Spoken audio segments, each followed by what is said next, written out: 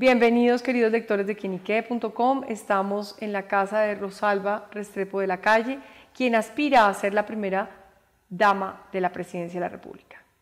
Qué bueno que estés con nosotros. Qué bueno, para mí también. Pues muchas gracias por esta invitación. Además, entramos a un espacio que yo creo que recoge lo que es la pareja de ustedes. ¿Sí?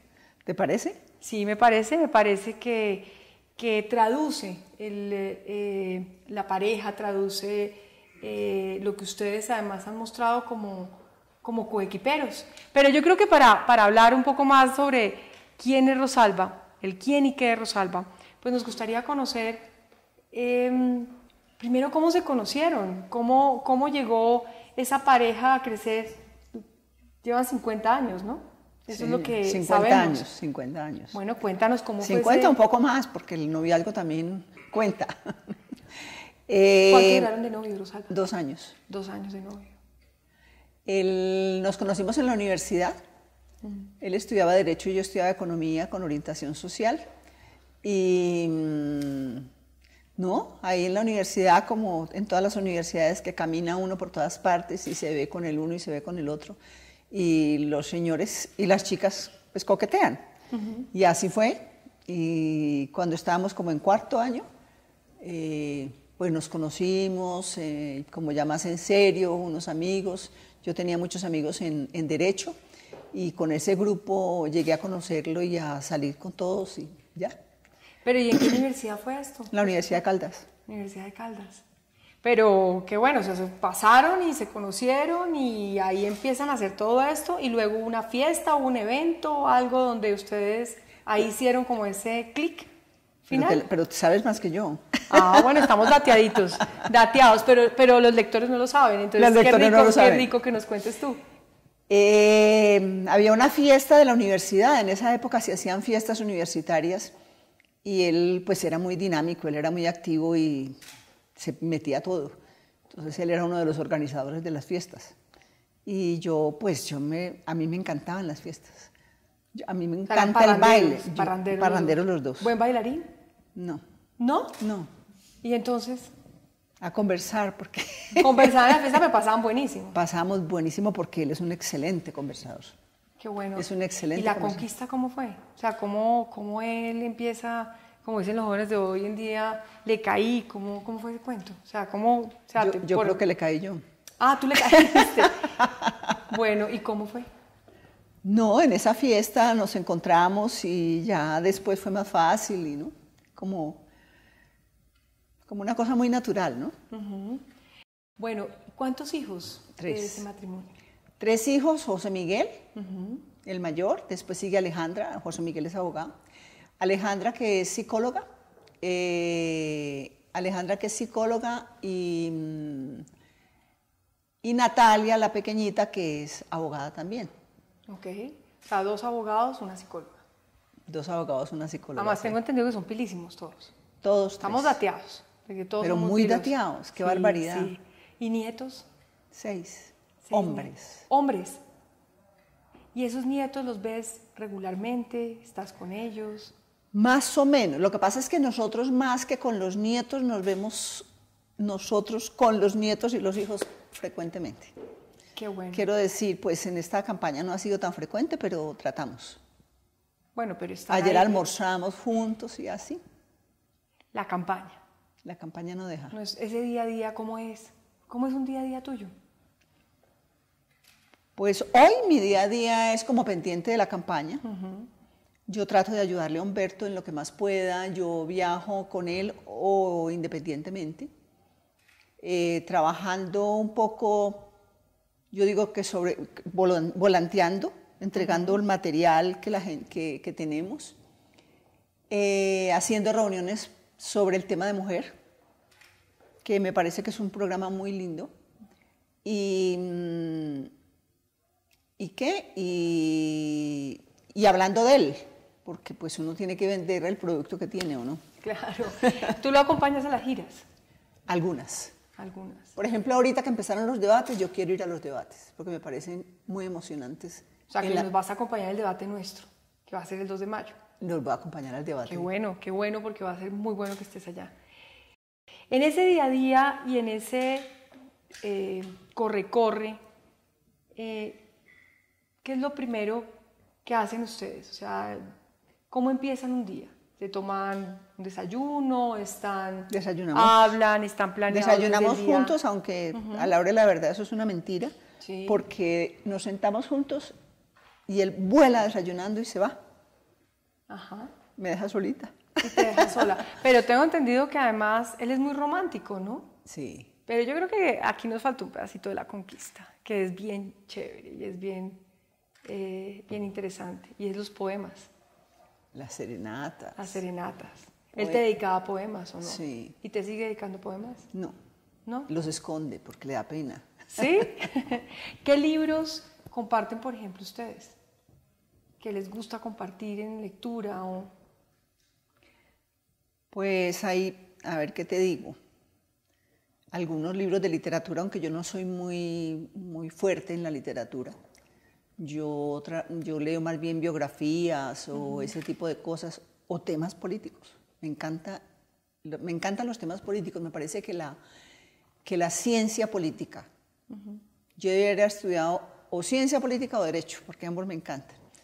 Eh, la ciencia política como el derecho deberían hacer parte de, la- de todas las carreras, porque te dan como un... Una te abren el mundo, te dan una visión de lo que pasa en el mundo y entiendes, o sea, lo lees y lo entiendes. O sea, qué pasa hoy en Estados Unidos con Trump, o qué pasa en Rusia con Putin, o qué pasa con Lula ahorita con semejante lío. ¿Sí me entiendes? O sea, si uno lee libros sobre esas cosas, pues se entera de mucho. Definitivamente el papel de la compañera, de la esposa o el esposo del candidato es un papel muy importante y es un rol eh, que tiene mucha fuerza. Ahora que hablábamos, hablabas del rol de la mujer, ahora que también eh, comentas sobre el tema de, de que debería tenerse un universo mucho más abierto, una visión mucho más abierta y por eso la ciencia política y todo esto.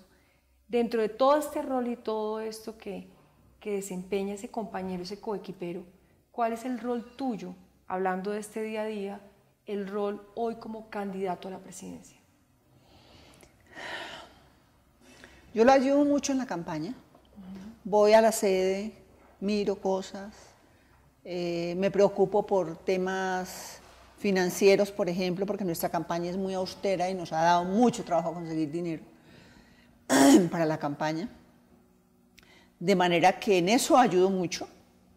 Ayudo mucho en... eh, leo los documentos que le preparan para los diferentes programas, como lo hace él.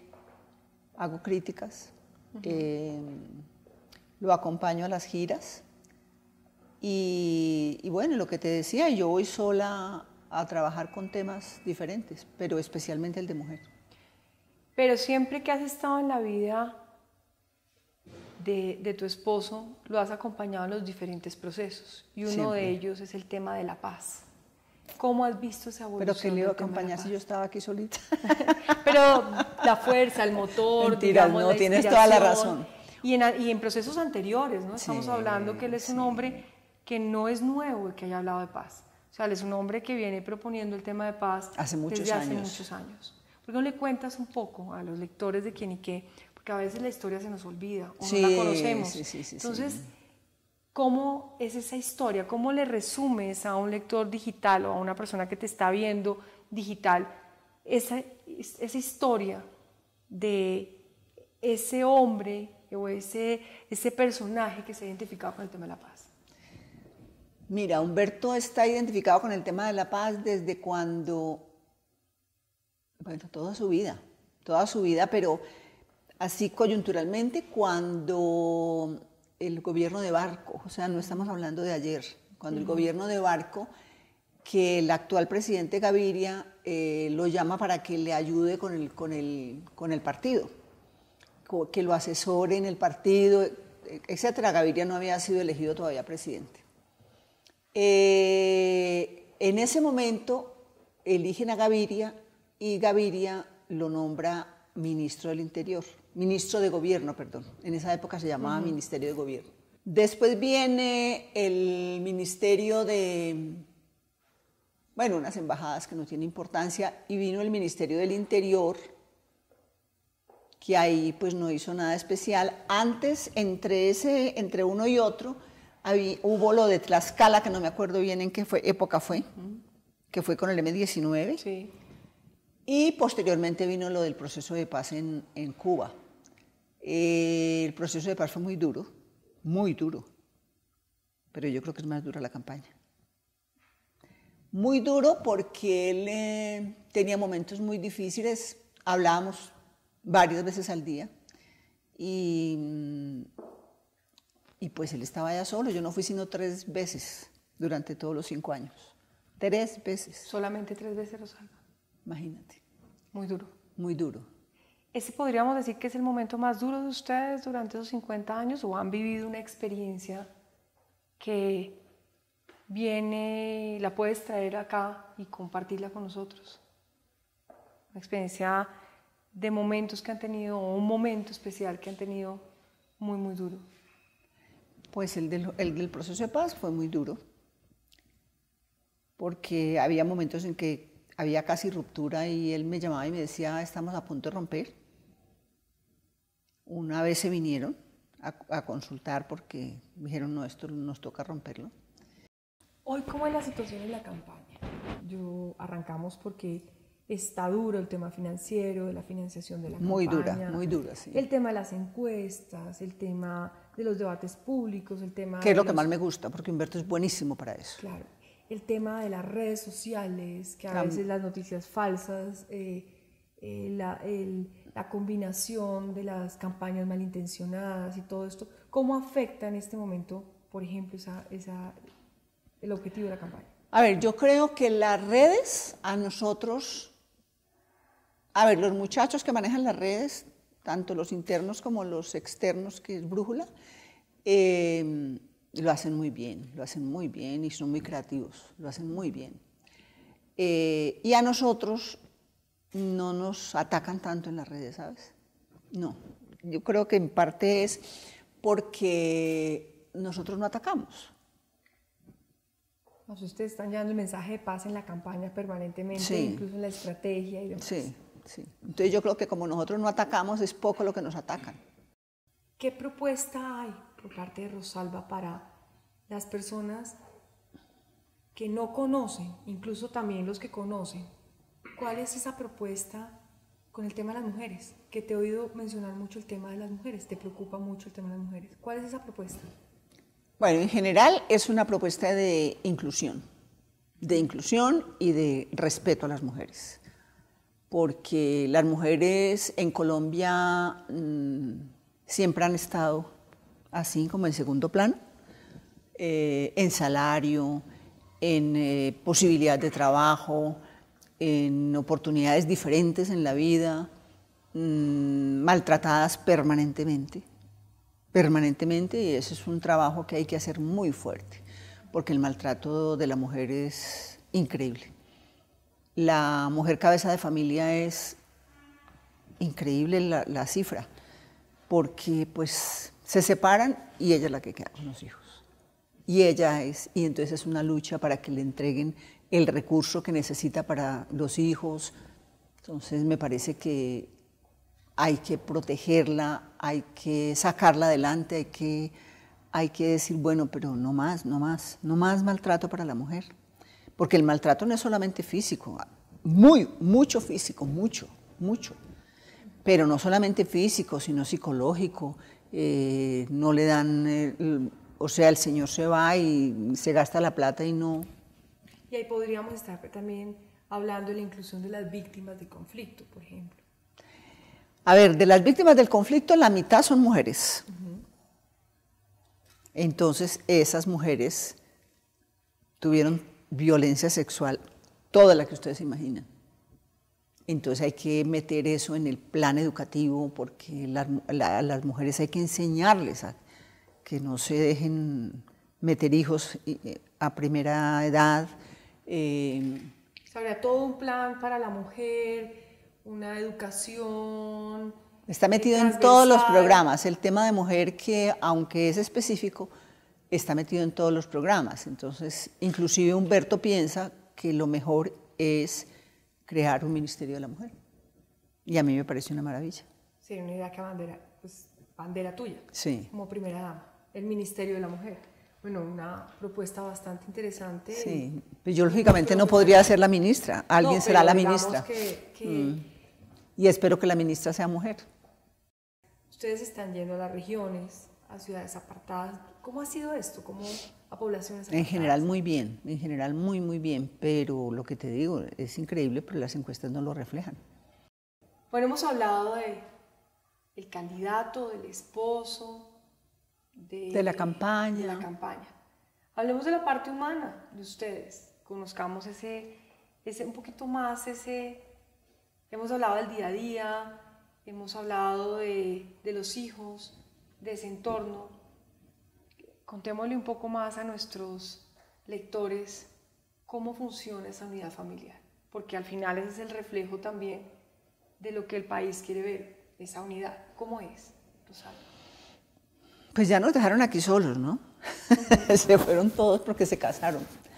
Pero es una felicidad. Yo, mejor dicho, para mí, la única razón de, de ser es esta familia, es decir, esta familia con mi marido al lado, porque pues yo lo admiro mucho y, converso mucho con él. He aprendido una cantidad de cosas de él. Em, y mis hijos. Mis hijos son una prioridad. Vivimos todos aquí en este conjunto. Ustedes pueden ah, creer. Todos viven acá cerca. Pero buenísimo. Todos acá en este conjunto. en diferentes edificios y en diferentes terrazas, pero vivimos acá todos. Pero muy bueno, porque entonces están en. Sí, sí, sí. Y cuando alguno tiene problema, el otro lo soluciona. Es una maravilla.